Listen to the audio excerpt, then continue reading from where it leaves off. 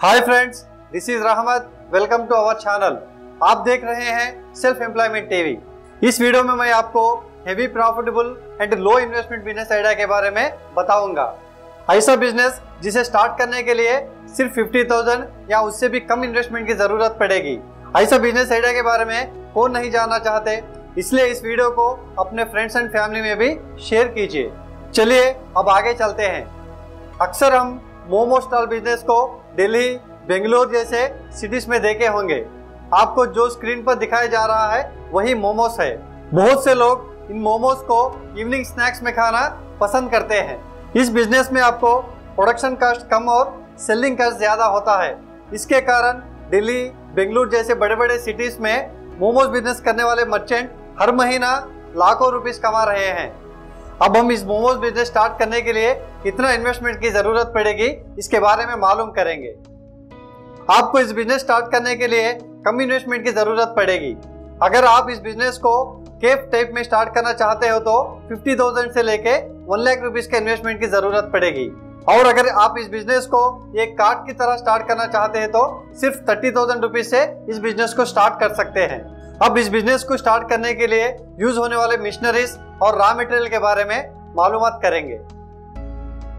इस बिज़नेस के लिए होने वाला रॉ मटेरियल आके आपको एक स्टोव मोमोस बॉयलर मोमोस निकालने के लिए स्पून और प्लेट्स की ज़रूरत पड़ेगी। और इसी तरह ग्रॉसरी आइटम्स आके आपको कैबेजी कैलीफ्लावर कैरेट्स मैदा और कुकिंग ऑयल जैसे चीज़ों की ज़रूरत पड़ेगी। अब हम इस मोमोज बनाने के प्रोसेस के बारे में मालूम करेंगे। सबसे पहले हम मैदे के अंदर साल्ट और वाटर को डाल के अच्छे से मिक्स कर लेना पड़ेगा। और वेजिटेबल्स को छोटे छोटे पीसेस में कट कर लेके बाजू रख लेना चाहिए। और इसी तरह स्टोव ऑन करके स्टोव पे पैन रख के, उसमें ऑयल डाल के छोटे छोटे कट किए गए वेजिटेबल्स को रोस्ट करना पड़ेगा। उसके बाद मैदे के छोटे छोटे राउंड्स को बनाकर, रोटी की शक्ल में बनाकर रोस्ट किए हुए वेजिटेबल्स को उसके अंदर स्टफ़ जैसे रख लेना चाहिए। फिर लास्ट में इन मोमोज को बॉयलर में रख के टेन मिनट्स के लिए बॉईल कर लेना चाहिए। और इसके बाद मोमोज रेडी हो जाएँगे दोस्तों। इन मोमोज को स्पाइसी चटनी के साथ लेंगे तो और भी ज़्यादा मज़ा आएगा। और इसी तरह इस बिज़नेस में होने वाले प्रॉफिट मार्जिन के बारे में मालूम करेंगे। देखिए दोस्तों मार्केट में एक प्लेट मोमोज का कास्ट आके आपको फिफ्टी रुपीज़ तक है। और एक प्लेट मोमोज तैयार करने के लिए आपको ट्वेंटी फाइव रुपीज़ का खर्चा होगा। सो आपका प्रॉफिट आके फिफ्टी परसेंट यानी ट्वेंटी फाइव रुपीज़ होगा।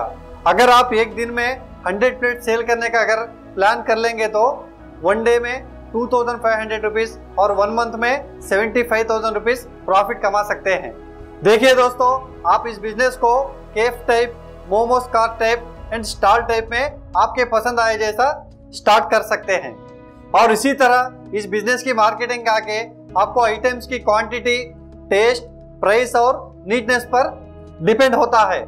और आप स्टार्टिंग में इन मोमोज को थोड़ा कम रेंज में सेल कर सके तो और भी आपको कस्टमर अट्रैक्ट होंगे और इस बिज़नेस के लिए होने वाले परमिशन के बारे में मालूम करेंगे। इस बिज़नेस को स्टार्ट करने के लिए आपको फ़ूड कंट्रोलर से एफ़ एस एस यही सर्टिफिकेट लेना पड़ेगा और लोकल अथॉरिटी से परमिशन भी लेना होगा। बस इतना ही है दोस्तों मोमो स्टॉल बिज़नेस के बारे में। आपको ये बिज़नेस आइडिया के बारे में सुन के कैसा लगा हमें कमेंट बॉक्स में जाके ज़रूर बताएँ। और भी इंफॉर्मेटिव वीडियोस के लिए हमारे चैनल को लाइक करें, अपने फैमिली एंड फ्रेंड्स में शेयर कीजिए। और बेल आइकन पे क्लिक करके ऑल नोटिफिकेशन बटन को ऑन करना मत भूलिए। एक और न्यू बिज़नेस आइडिया के साथ फिर आपसे मुलाकात होगी। जब तक के लिए बाय दोस्तों। Thank you keep watching our videos